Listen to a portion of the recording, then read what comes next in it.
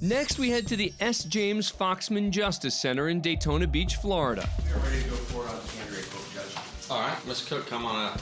The woman being sworn in is 18 year old right Ky'Andrea Cook. Cook's in court today to receive a sentence for using a dating app to set up a robbery All right, that and we, ended uh, with another teen being shot. cases. The teen survived. Cook has accepted a plea deal that will drop a conspiracy charge, which carried a maximum penalty of life in prison. But counts of carjacking, attempted carjacking with a deadly weapon, and felony battery are still in play. All right, come on up, Miss Cook. You get to say the final words.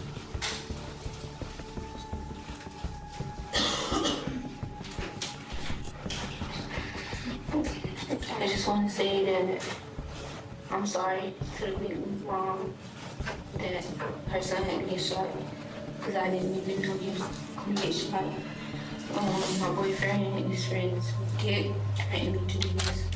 I didn't even know what was going on until it was, I was at the wrong place at the wrong time. I just want to say I asked for forgiveness for I get chance so I can get out and finish school and I can make my mama proud because I want to be her first child to bring home a high school diploma. And I just want to make my mama proud. That's it. Cook now prepares to hear her sentence as her loved ones look on. Ms. Cook, you're before the court for sentencing. Couple of things uh, going in your favor. One, you didn't hold a firearm during these episodes. The, the second is that um, the victim uh, luckily survived. That being said, this was uh, intentional. It was an orchestrated ambush, and you are a main part of that.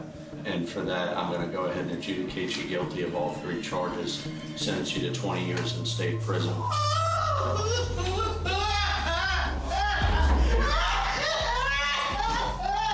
Concurrent as to the first two counts. The crying you hear is coming from Cook's mother.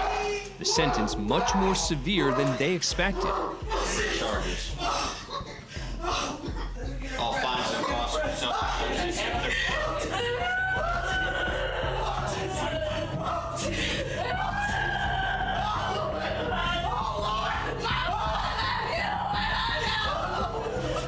It turns out that Cook and her mother's reactions were so intense because they believed the plea deal meant no prison time.